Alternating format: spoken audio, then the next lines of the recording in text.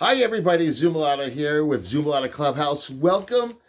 This channel is all about helping out parents who are hosting birthday parties and and they it's going to be a library of places you can get tips. And now today we are covering a basic balloon animal.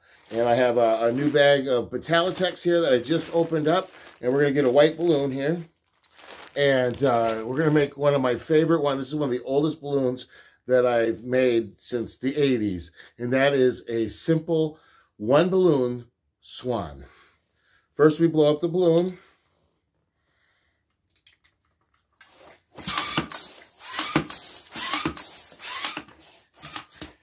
And you're going to blow it up and you're going to leave, I'm going to let some air out there a little bit. So there's about three inches or so on uh, the end of that. And then you take and tie off the end really good, really well.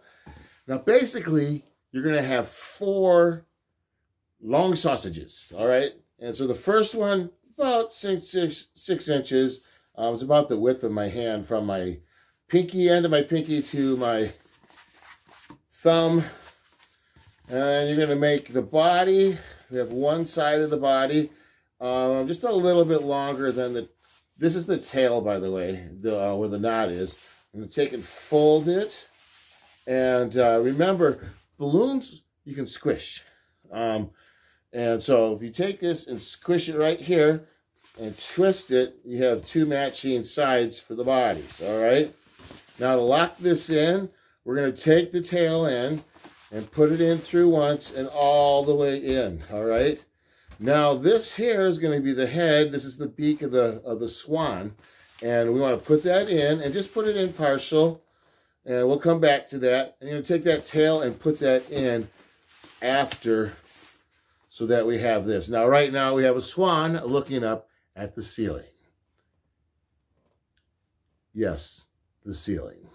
All right, this is the fun part. This is the cool part. Um, and that is you take the end and you're going to pull it down, stretch it down, and you're going to hold on to it and hold on to this. Now in a second, you're going to take and you're going to squeeze right here, and the air is going to flow down here to this part. And now you don't want to squeeze it all the way, but just enough to make the design that I, am going to show you.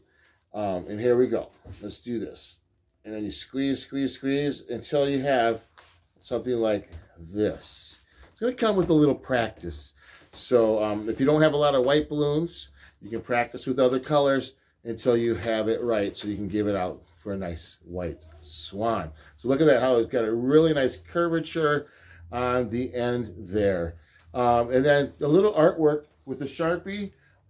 I would use a Sharpie or a very, very permanent marker um, you don't, you know, Sharpie's the best, I think. Um, there's some other stuff, but I know for sure Sharpie, once it's dry, will not rub off on somebody's hands.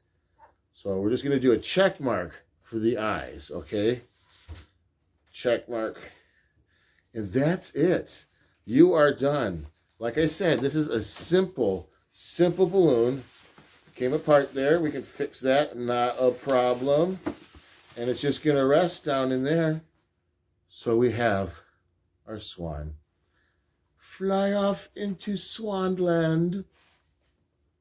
Thank you so much for stopping by. If you like what you see and you want to learn more, hit the like button, hit subscribe, tell all your friends about it, hit the notification bell too so you know when there are more fun tutorials.